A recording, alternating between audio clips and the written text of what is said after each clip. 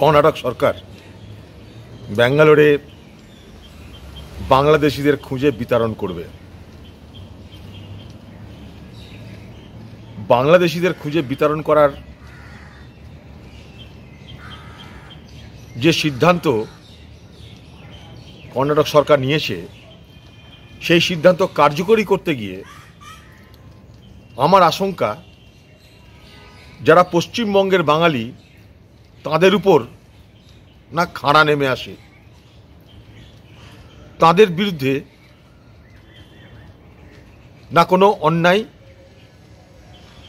সিদ্ধান্ত নেওয়া হয়। বাংলাদেশের বাঙালি আর পশ্চিমবঙ্গের বাঙালির মধ্যে পার্থক্য করার মতন পরিকাঠামো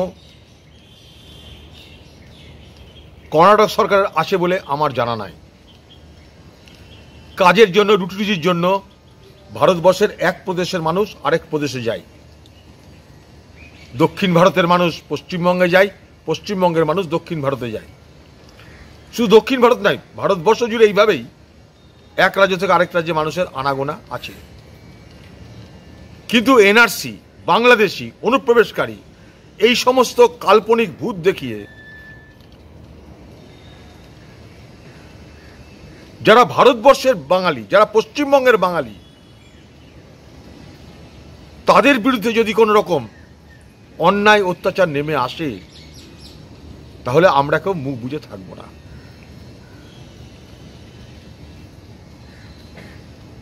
ব্যাঙ্গালোরে হাজার হাজার পশ্চিমবঙ্গের বাঙালিরা আছে।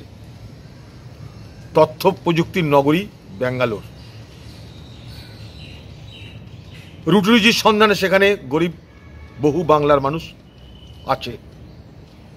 পশ্চিমবঙ্গ সরকারের উচিত মমতা ব্যানার্জির উচিত এই মুহূর্তে কর্ণাটক গভর্নমেন্টের সঙ্গে কথা বলে, যাতে কোনোভাবেই বাংলার পশ্চিমবঙ্গের যারা বাঙালি, তারা হিন্দু হতে পারে, মুসলমান হতে পারে, শিখ হতে পারে, খ্রিস্টান হতে পারে, পশ্চিমবঙ্গে বসবাসকারী যারা বাংলার মানুষ, তাদের উপরে যেন কোনো ধরনের নির্যাতন না হয়, অন্যায় না হয়, বঞ্চনা না হয়, সেটা নিশ্চিত করুক কর্ণাটক সরকার। এই মর্মে পশ্চিমবঙ্গের তৃণমূল সরকারের নেত্রী মমতা ব্যানার্জি তার দ্রুত পদক্ষেপ গ্রহণ করা উচিত বলে আমি মনে করি। কারণ সময় থাকতে সব কিছু করা ভালো। না হলে পরে আমাদের অসুবিধা হতে পারে। কর্ণাটক সরকার যদি বোঝে, তো ভালো কথা। যদি না বোঝে, তাহলে তাদেরকে বোঝানোর দায়িত্ব পশ্চিমবঙ্গ সরকারকে নিতে হবে। তাই পশ্চিমবঙ্গ সরকারের যে আমার দাবি, সেখানকার মুখ্যমন্ত্রী এক্ষুনি কর্ণাটকের মুখ্যমন্ত্রীর সঙ্গে কথা বলে এই বিষয়টা সমাধান করার ব্যবস্থা করুক।